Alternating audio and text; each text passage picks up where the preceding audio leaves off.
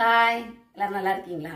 Welcome to Siva's life style Vinayagar சதுர்த்தினாலே நம்ம எப்பவும் மோதகம் தான் அவிக்கிறோம். ஆனால் பிள்ளையார்பட்டியில் அவைக்கிறது வந்து பிள்ளையார்பட்டி கொழுக்கட்டை. அது கொஞ்சம் டிஃப்ரெண்ட்டாக இருக்கும் டேஸ்ட்டாகவும் இருக்கும். நம்ம அதன்னைக்கு செய்யலாம். நீங்கள் வீடியோவை இதான் ஃபஸ்ட் டைம் பார்க்குறவங்க சேனலை சப்ஸ்கிரைப் பண்ணிட்டு பாருங்கள் உங்களோட ஃப்ரெண்ட்ஸுக்கும் ஷேர் பண்ணுங்கள் வாங்க வீடியோக்குள்ளே போகலாம்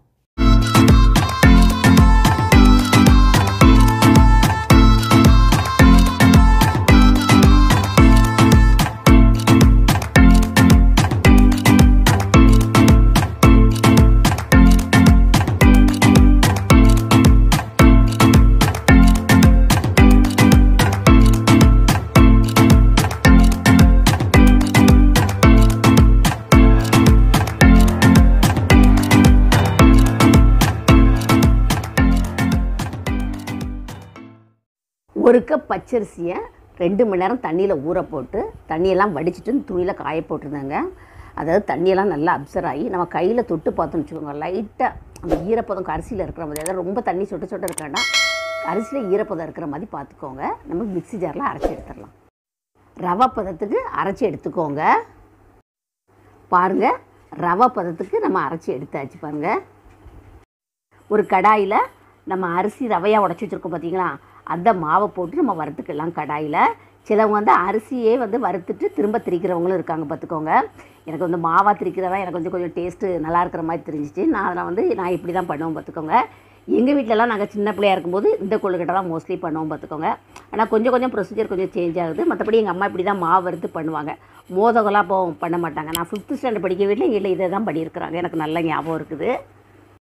மாவு பாருங்கள் நல்லா வறுபட்டுட்டு வாசமும் நல்லா வருது. நீங்கள் முன்னாடி உள்ள மாவுக்கும் இப்போ உள்ள மாவுக்கும் உங்களுக்கு நல்ல டிஃப்ரெண்ட் தெரியும்.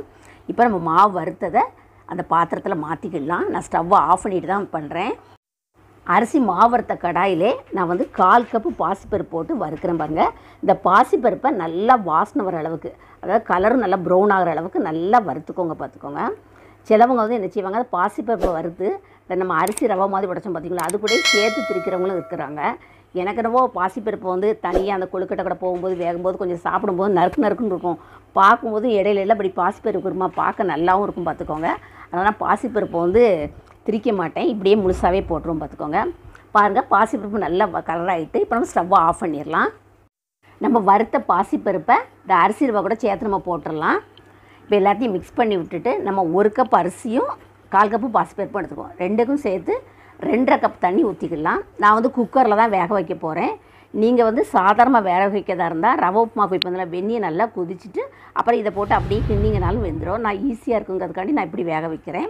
இப்போ நம்ம குக்கரில் வச்சு நம்ம மூடி மீடியம் ஃப்ளேமில் வச்சு நாலு விசில் அஞ்சு விசில் அதான் நல்லா வேகணும். அந்த அளவுக்கு நம்ம வச்சுக்கலாம். குக்கர் அங்கே வச்சுட்டு இருக்கும்போதே ஒரு கடாயில் நான் அரை கப் தேங்காய் பூ எடுத்துருக்கேங்க. அதை நல்லா வாசனை வர அளவுக்கு நல்லா வறுத்துக்கலாம். தேங்காய் பூ வந்து நீங்கள் கூட்டி குறைக்கிறது உங்களோட சாய்ஸ் தான். நீங்கள் ஒரு கப் முக்கால் கப் தேங்காய் பூ நிறைய போடுறதுக்கு டேஸ்ட் ரொம்ப நல்லாயிருக்கும் பார்த்துக்கோங்க. அதாவது கலரும் நல்லா சேஞ்ச் ஆகணும் வாசனும் நல்லா வரணும். அதாவது தேங்காய் பூ சிலவங்க பச்சையாகவே போடுறவங்க இருக்கிறாங்கங்க. அவரவருக்கு டேஸ்ட் தக்கன போடுவாங்க. ஒவ்வொரு டேஸ்ட்டும் ஒவ்வொரு டிஃப்ரெண்ட் வரும். அதாவது தேங்காய் பூ வறுத்து போடும்போது டேஸ்ட் நல்லா இருக்கும்னால நான் தேங்காய் பூ வறுத்து போடுறேன். நீங்கள் உங்களோட சௌரியத்தை பார்த்து போட்டுக்கோங்க. இப்போ நல்லா வறுபட்டுட்டு இப்போ நம்ம ஸ்டவ்வை ஆஃப் பண்ணிடலாம். வெள்ளை கரைசல் கரைச்சிடலாம். கடாய் வச்சுருக்கேன். அதில் வந்து ஒன்றரை கப் வெள்ளம் எடுத்திருக்கேன். வெள்ளம் மீடியமாக போனால் ஒரு கப் எடுத்துக்கோங்க. ஒன்றுலேருந்து ஒன்றரை கப்பில் கரெக்டாக இருக்கும். வெள்ளம் கரையிறதுக்கு கால் கப் தண்ணி விட்டுருக்காங்க. வெள்ளம் கரையட்டும். வெள்ளம் வந்து நல்லா கரைஞ்சிட்டு இப்போ நம்ம ஸ்டவ்வை ஆஃப் பண்ணிடலாம்.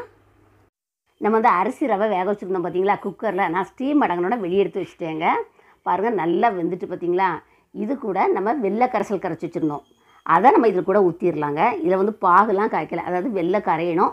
தூசி மண் எது இருந்தாலும் வந்துருக்கிறதுக்காண்டி ஜல்லடையில் அடித்து போடுதோம் இதே நீங்கள் நம்ம குக்கரில் வச்சோம் பார்த்தீங்களா அந்த வெள்ளை கரைசல் எல்லாமே சேர்த்து வைக்கனாலும் நீங்கள் அப்படி வச்சுக்கலாம் பார்த்துக்கோங்க இப்போ அது கூட நான் வந்து வறுத்து வச்சுருந்தோம் பார்த்தீங்களா தேங்காய் பூ. அதையும் இதில் போட்டுக்கலாம். நீங்கள் இதில் பச்சையாக தேங்காய் பூ போனாலும் அதுவும் போட்டுக்கலாங்க.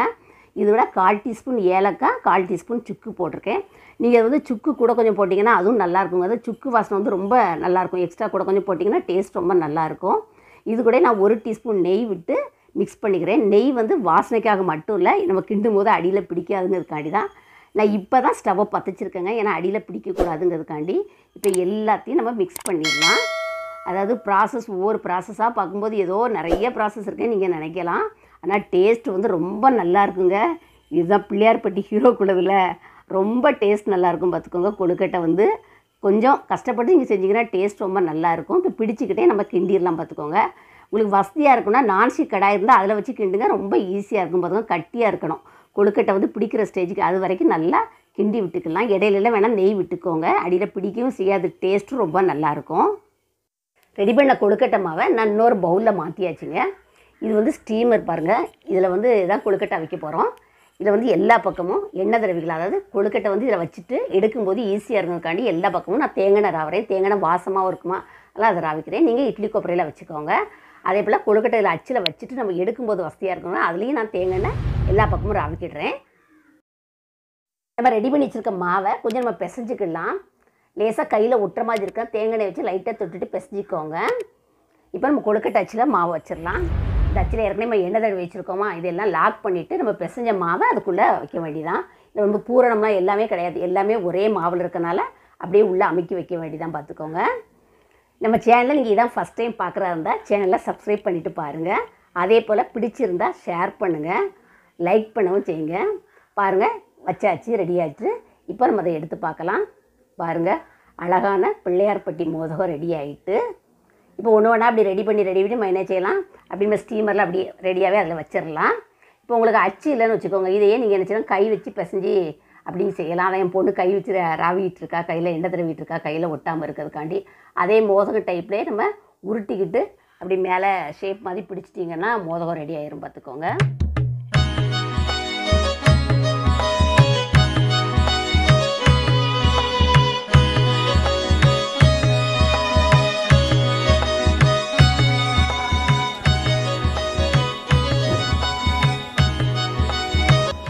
ரெடி பண்ண மோதகத்தை எல்லாத்தையும் நம்ம ஸ்டீமரில் வச்சாச்சு. இப்போ நம்ம கொழுக்கட்டையை அடுப்பில் வச்சிடலாம். ஏற்கனவே நான் அதில் தண்ணி ஊற்றி அதாவது கருக்கக்கூடாதுக்காண்டி ஒரு லெமன் போட்டு வச்சுருக்கேன். தண்ணி ஏற்கனவே நல்லா சூடாகிட்டு நம்ம ரெடி பண்ணிக்கிற ஸ்டீமரை அதில் மேலே தூக்கி வச்சிடலாம். இப்போ ஸ்டவ் ஒரு மீடியம் ஃப்ளேமில் வச்சுட்டு ஒரு பத்து நிமிஷம் வச்சுருக்கோங்க ஏற்கனவே வெந்த மாவு பார்த்துக்கோங்க. அதெல்லாம் சீக்கிரமாகவே வெந்துடும் பத்து நிமிஷம் ஆகிட்டு நம்ம திறந்து பார்க்கலாம். பாருங்கள் நல்லாவே வெந்துட்டு பிள்ளையார்பட்டி கொழுக்கட்டை ரெடி